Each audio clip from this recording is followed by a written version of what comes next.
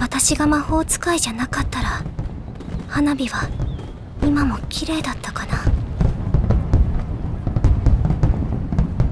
魔法なんて大嫌い。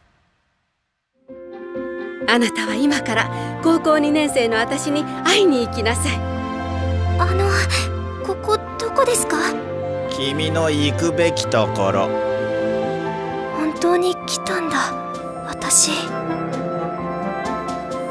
全てが美しかったのに私は大きくなっていつの間にか世界は色を失っていた。